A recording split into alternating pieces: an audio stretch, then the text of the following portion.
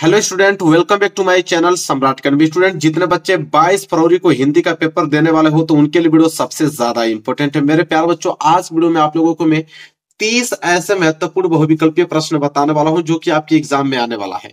और 30 महत्वपूर्ण बहुविकल्पीय प्रश्न मेरे प्यार बच्चों, जो 2023 में जो ज़्यादातर क्वेश्चन पूछे गए थे 2023 में जो कि सबसे ज़्यादा इंपॉर्टेंट थे, वही तीस इंपोर्टेंट क्वेश्चन में छाट कर लाया हूँ आप लोगों को। अगर तीस आप लोगों याद कर ले तो मेरे प्यार बच्चों तो वो बीस नंबर के जो ऑब्जेक्टिव क्वेश्चन है, उसमें बीस से बीस नंबर करके आओगे। तो वीडियो को लाइक कर देना, चैनल पर नया तो चैनल को सब्सक्राइब ज़रूर कर लेना मेरे प्यार बच्चों इस बार सत्तर नंबर की बिल्कुल पूरी तैयारी में करा रहा हूँ, बस मेरे चैनल पे आप बने रहो। जो क्वेश्चन बता रहा हूँ, सारे क्वेश्चन को तैयार रखो। मेरे प्यार बच्चों देखो, पहला प्रश्न पढ़ता हूँ। पहला प्रश्न क्या है यहाँ पे? पहला प्रश्न यह है कि निम्नलिखित कथनों में से कोई एक कथन सही है, उसे पहचान कर लिखिए। ठीक है? चार कथन दिया हुआ है। इन चारों कथन में से कोई एक ही कथन सही है और आपको पहचान कर लिखना है। जैसे पहला है कि आचार्य रामचंद्र शुक्ल एक प्रख्यात नाटककार है, ठीक है? दूसरा है रामविलास शर्मा उपन्यास के रूप में प्रसिद्ध है। तीसरा है, क्या भूलू, क्या याद करूँ, कहानी विधा की रचना है। चौथा है कि अजंता के लेखक डॉक्टर भगवत शरण उपाध्याय जी हैं। मेरे प्यार बच्चों अब आपको समझना है कि इनमें से कौन सा राइट आंसर है। अगर आपको मालूम है तो मुझसे पहले ही आंसर कर देना। इसका राइट आंसर होगा ऑप्शन नंबर डी मेरे प्यार बच्चों क्योंकि अजंता के जो लेखक है ना, वो डॉक्टर भगवत शरण उपाध्याय जी है। बस, ऐसे ही करना है सारे क्वेश्चन में। चारों में से कोई एक ऑप्शन सही होगा, आपको पहचान कर लिखना होगा। इसी तरह दूसरा प्रश्न जो कि वेरी मोस्ट इंपोर्टेंट है कि क्या लिखूं, किस विधा की रचना है? अब क्या लिखूं, किस विधा की रचना है? ऑप्शन ए निबंध ऑप्शन बी नाटक ऑप्शन सी उपन्यास और ऑप्शन डी कहानी विधा। तो क्या लिखूं, किस विधा की रचना है मेरे प्यार बच्चों? बताओ। अगर आपको आंसर मालूम है तो मुझसे पहले ही कमेंट करके बता देना। इसका राइट आंसर होगा मेरे प्यार बच्चों ऑप्शन नंबर है निबंध। क्या लिखू, किस विधा की रचना है? निबंध विधा की रचना है सिंपल इसके बाद तीसरा प्रश्न देखिए क्या है कि गुनाहों के देवता उपन्यास के लेखक हैं। तो गुनाहों के देवता उपन्यास के लेखक option A, Dharmveer Bharti, option B, Jaishankar Prasad, option C, Agyeya, और ऑप्शन डी, इला चंद्र जोशी। तो गुनाहों के देवता की अगर हम बात करें कि गुनाहों के देवता उपन्यास के लेखक जो हैं, वो ऑप्शन ए हैं, धर्मवीर भारती जी हैं। कौन है? धर्मवीर भारती जी, ए वाला ऑप्शन सही होगा।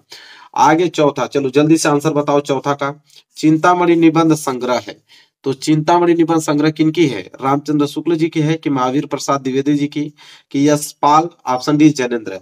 आपको भी मालूम होगा कि चिंतामणि निबंध संग्रह जो है मेरे प्यार बच्चों, वो रामचंद्र शुक्ल जी के मतलब ऑप्शन नंबर ए जो है, इस प्रश्न का राइट आंसर होगा। आगे देखेंगे पांचवा प्रश्न क्या है? पांचवा है कि गबन उपन्यास है तो option A Premchandra, option B Prasad. ठीक है? और ऑप्शन सी और ऑप्शन डी पीछे दिया हुआ है, लेकिन इसका सही आंसर मैं आप यही बता दूँ कि गबन उपन्यास के जो लेखक है, वो मुंशी प्रेमचंद्र जी हैं। तो पहला वाला ऑप्शन जो है सही हो जाएगा। पांचवे का ए चलिए, देखिए क्वेश्चन नंबर सिक्स देखिए क्वेश्चन नंबर सिक्स है कि आकाश, द्वीप और ममता कृति है।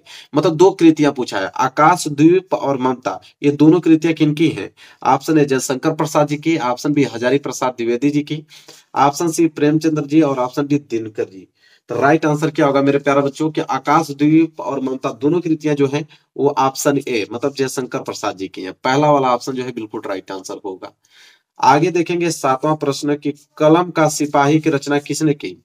तो कलम के सिपाही की रचना किसने किया था मेरे प्यार बच्चों, वृंदावन लाल की अमृत राय, की प्रेमचंद्र जी की इनमें से कोई नहीं। तो सातवें का राइट आंसर होगा मेरे प्यार बच्चों, अमृत राय, क्योंकि कलम की सिपाही की रचना किसने किया? तो अमृत राय जी ने किया। बी वाला ऑप्शन जो होगा, वो सही आंसर होगा। आठवां देखो, आठवां प्रश्न क्या है? मुंशी प्रेमचंद्र द्वारा संपादित पत्रिकाएँ हैं। तो मुंशी प्रेमचंद्र द्वारा संपादित पत्रिकाएँ, ऑप्शन ए मर्यादा और हंस, ऑप्शन बी छाया और प्रभा, ऑप्शन सी प्रेमचंद और ऑप्शन डी इनमें से कोई नहीं। तो मुंशी प्रेमचंद्र द्वारा संपादित पत्रिकाएँ जो है, मेरे प्यारे बच्चों, कौन है? तो ऑप्शन ए मर्यादा और हंस। ये दोनों पत्रिकाएँ किनकी है? मुंशी प्रेमचंद्र जी के बहुत इंपॉर्टेंट प्रश्न है, तैयार कर लेना इसको। आगे देखिए प्रश्न नंबर नाइन, कि छायावादी युग के प्रमुख लेखक है। तो छायावादी युग के प्रमुख लेखक option A Yashpal, option B Vrindavan Lal Verma ji, option C Ram Kumar Verma और ऑप्शन डी भारतेंदु हरिश्चंद्र। तो छायावादी युग के प्रमुख लेखक जो है मेरे प्यार बच्चों कौन है? तो ऑप्शन नंबर सी मेरे प्यार बच्चों राम कुमार वर्मा जी। ठीक है? राम कुमार वर्मा जी है। आगे देखिए दसवां प्रश्न क्या है? गुलाब राय द्वारा रचित आत्मकथा कौन सी है? तो गुलाब राय द्वारा रचित आत्मकथा कौन सी है? ऑप्शन ए मेरा जीवन प्रवाह। ऑप्शन सी ऑप्शन बी जो है, वो है मन की बातें, या बी ऑप्शन होगा, ठीक है? ऑप्शन सी मेरी असफलताएँ, और ऑप्शन डी नई पौध। ठीक है? नई पौधे तो गुलाब राय द्वारा रचित आत्मकथा, इन चारों ऑप्शन में से कौन मेरे प्यार बच्चों? तो ऑप्शन ए मेरी असफलताएँ। सी वाला ऑप्शन जो है, बिल्कुल राइट आंसर होगा। आगे बढ़ेंगे। अगला प्रश्न देखिए अगला प्रश्न मेरे प्यारों ची, ग्राहमा प्रश्न है कि अजात शत्रु किस विधा की रचना है? तो अजात शत्रु मेरे प्यार बच्चों, ऑप्शन ए संस्मरण, ऑप्शन बी रेखा चित्र ऑप्शन सी यहाँ पे नाटक और ऑप्शन डी कहानी। तो मेरे प्यारे बच्चों, ऑप्शन सी जो है इस प्रश्न का राइट आंसर होगा। प्रश्न क्या था? अजात शत्रु किस विधा की रचना है? तो नाटक विधा की रचना है।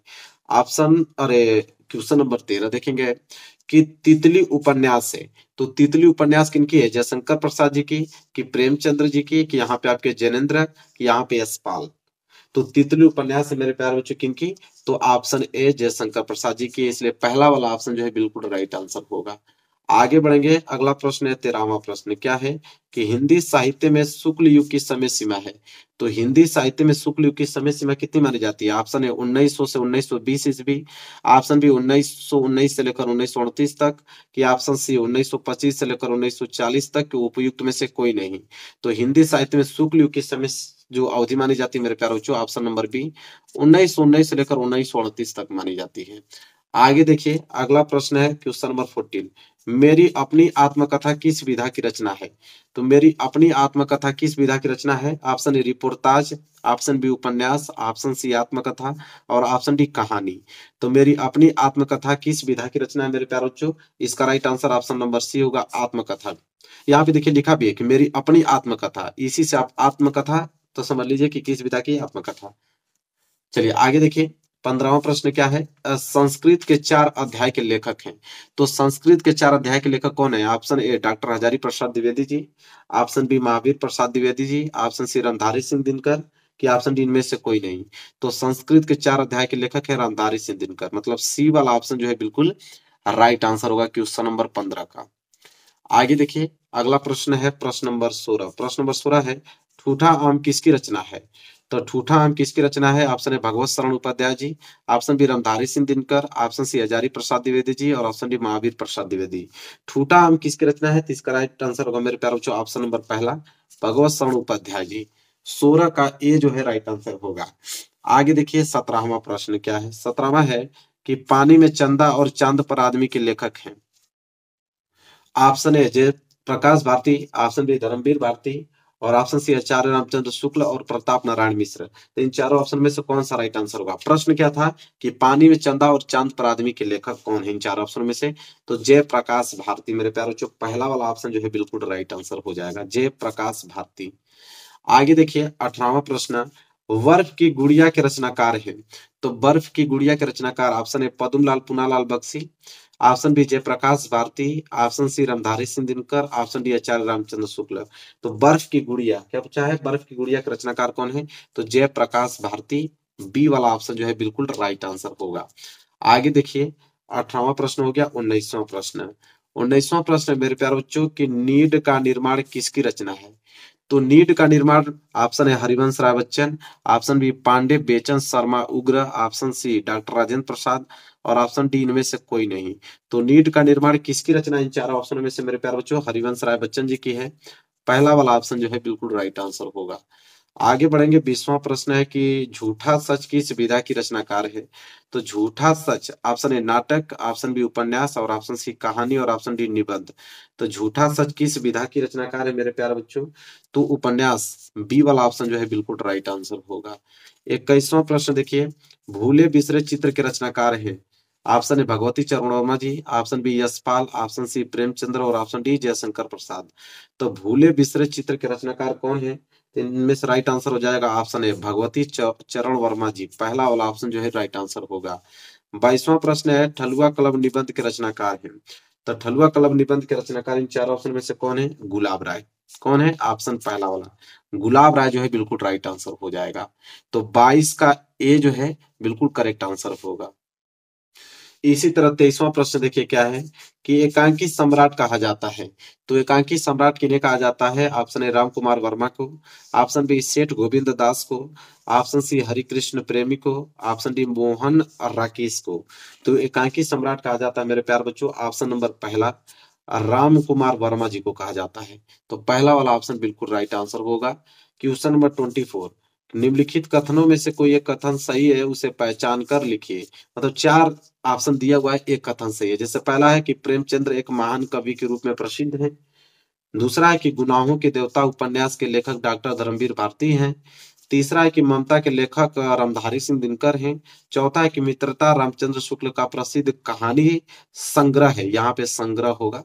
तो इसका राइट आंसर हो जाएगा बी वाला, क्योंकि गुनाहों के देवता उपन्यास के लेखक डॉक्टर धर्मवीर भारती हैं।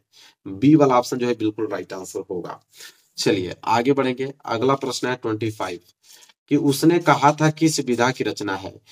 ऑप्शन ए उपन्यास विधा ऑप्शन बी यात्रा वृत्त ऑप्शन सी कहानी ऑप्शन डी आलोचना। तो उसने कहा था किस विधा की रचना है, मेरे प्यारे बच्चों? कहानी विधा की रचना है। सी वाला ऑप्शन बिल्कुल राइट आंसर होगा। चलिए, आगे बढ़ेंगे तो ट्वेंटी सिक्स कि हास्य रस का स्थायी भाव क्या है?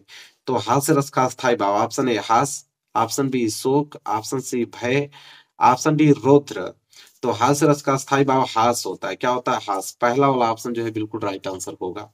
ट्वेंटी सेवन प्रश्न देखिए, हे खग मृग, है मधुकर श्रेणी, तुम दे, देखी सीता मृगनैनी में कौन सा रस है मेरे प्यार बच्चों? इनमें इन पंक्ति में कौन सा रस है? ऑप्शन है हास्य रस, ऑप्शन बी करुण, ऑप्शन सी वीर रस, ऑप्शन डी इनमें से कोई नहीं।